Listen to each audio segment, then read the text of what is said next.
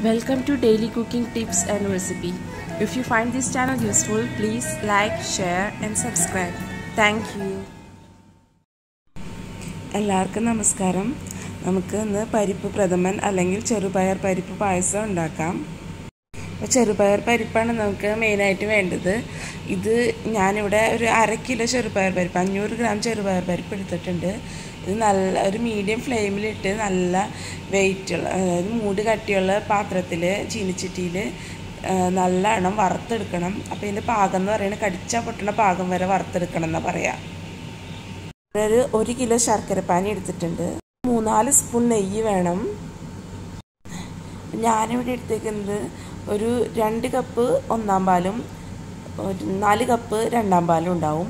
അപ്പോൾ ഈ രണ്ടാം പാലിലേക്ക് ഞാൻ എടുത്തേക്കുന്നത് ഒരു കാ ടീസ്പൂൺ ജിഞ്ചർ പൗഡറും അര ടീസ്പൂൺ ഏലക്കാപ്പൊടിയും അര ടീസ്പൂൺ ജീരകപ്പൊടിയുമാണ് എടുത്തേക്കണേ.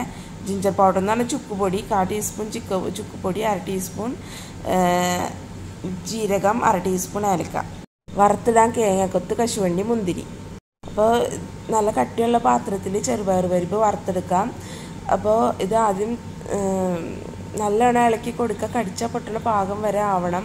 അതായത് ഇതിന്ന് ഓരോന്നെടുത്ത് കടിച്ചു നോക്കുമ്പോൾ അപ്പോൾ അതിന് ശേഷം അത് നല്ലോണം കഴുകിയെടുക്കുക.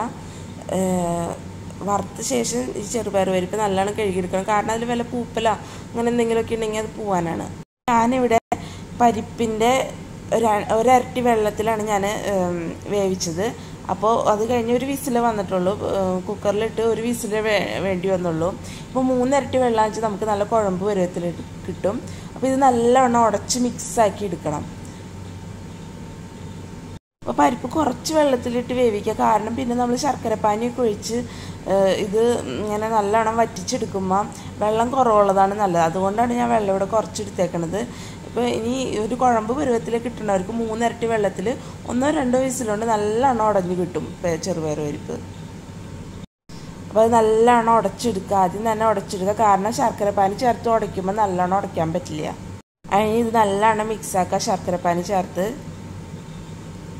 അതിലേക്ക് ഒരു സ്പൂൺ നെയ്യ് ചേർത്ത് മിക്സാക്കുക അപ്പം നെയ്യും ശർക്കരപ്പാനിയും കൂടി ചേർത്ത് നല്ലവണ്ണം മിക്സ് ആക്കിയിട്ടുണ്ടെങ്കിൽ നമുക്കൊരു നല്ല സ്മെല്ലൊക്കെ വരും. അപ്പോൾ നല്ലവണ്ണം ഇപ്പോൾ നല്ലവണ്ണം തിളച്ച് നല്ലവണ്ണം എന്താന്ന് പറയുക പയറ് ഈ ശർക്കര പാനിയിലും നെയ്യിലും കൂടി വരട്ടി എടുക്കണം എന്നാണ് പറയുക അപ്പോഴാണ് അതിന്റെ ഒരു ടേസ്റ്റ് കിട്ടുക. അപ്പോൾ ശർക്കര പാനി ഉണ്ടാക്കുമ്പോൾ കുറച്ച് വെള്ളത്തിൽ ശർക്കര പാനി എടുക്കുക. അതുപോലെ തന്നെ പയർ വേവിക്കുമ്പോഴും കുറച്ച് വെള്ളത്തിലാക്കുക. അപ്പോൾ അത് നല്ലവണ്ണം വേഗം വരണ്ട് കിട്ടും. വെള്ളം ഉണ്ടെങ്കിൽ അത് മുഴുവൻ വറ്റിക്കാൻ വേണ്ടിയിട്ട് നിൽക്കേണ്ടി വരും. കുറച്ച് വെള്ളത്തിൽ ഇതാകും ബുദ്ധിമുട്ടില്ലല്ലോ. അപ്പോൾ അതിലേക്ക് നെയ്യ് ചേർത്ത് നല്ലവണ്ണം വരട്ടി കൊടുക്കുക. രണ്ട് സ്പൂൺ നെയ്യ് മതിയാവും. അപ്പോൾ ഇത് നല്ലവണ്ണം ഡ്രൈ ആയിട്ട് നല്ലവണ്ണം കുറുകി വന്നിട്ടുണ്ട്. എപ്പോഴും ഇളക്കി കൊടുക്കുക കാരണം അടി പിടിക്കാനൊക്കെ നല്ല ചാൻസ് ഉണ്ട്. നല്ലവണ്ണം ഇളക്കി കൊടുക്കണം.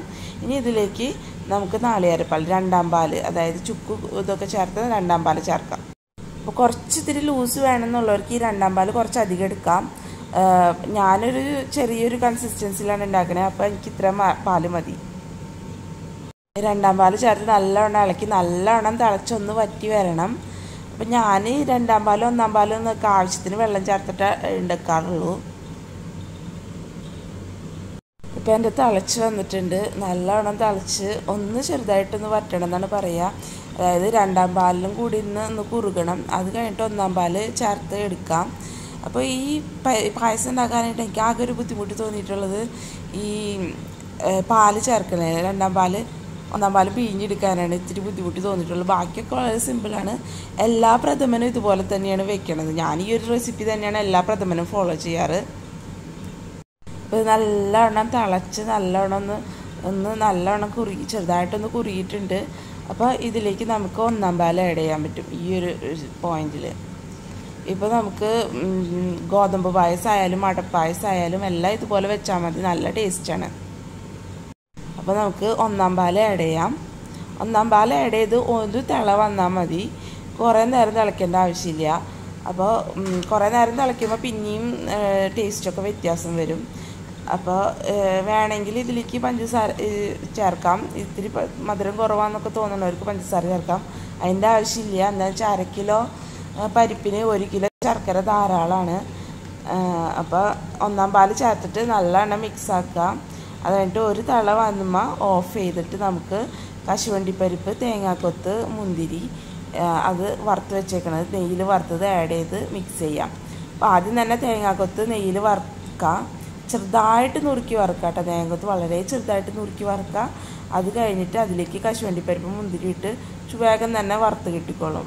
അത് നമുക്ക് ആഡ് ചെയ്യാം. ഇപ്പോൾ എന്റെ രണ്ടാം ഒന്നാം പാൽ അതായത് ഒന്നാം പാൽ ചേർത്തത് ദേ ഒരു തളിയൊക്കെ വന്ന് തുടങ്ങിയിട്ടുണ്ട്. അപ്പോൾ നമുക്ക് ഇതിലേക്ക് വറുത്തത് ആഡ് ചെയ്യാം. തീ ഓഫ് ചെയ്തിട്ട് വറുത്തത് ആഡ് ചെയ്യാം. അപ്പോൾ ഇതൊക്കെ ഒരു മീഡിയം ഫ്ലെയിമിൽ വെച്ചാണ് ഞാൻ ചെയ്യണത്. എപ്പോഴും ഇളക്കി കൊടുക്കുക അടി പിടിക്കാതിരിക്കാൻ നോക്കുക. ശർക്കര പാനി ചിലപ്പോൾ അടി പിടിക്കുക അല്ലെങ്കിൽ രണ്ടാം പാൽ അടി പിടിക്കുക. ആ നേരത്തൊക്കെ നല്ലോണം ഇളക്കി കൊടുക്കുക. വറുത്തത് ചേർക്കുക. അപ്പോൾ വറുത്തത് നെയ്യും കൂടെ ചേർത്ത് നല്ലോണം മിക്സ് ചെയ്തെടുക്കുക. നമ്മുടെ പായസം റെഡിയാണ് പിന്നെ പായസം ഇഷ്ടമില്ലാത്തവരാരും ഇല്ല അപ്പോൾ ഈ ഒരു റെസിപ്പി എല്ലാവരും നോക്കുക. എനിക്കിത് നെറ്റിൽ നിന്ന് തന്നെ കിട്ടിയതാണ്. ഞാൻ ഉണ്ടാക്കുമ്പോൾ നല്ല ടേസ്റ്റ് ഉണ്ട്.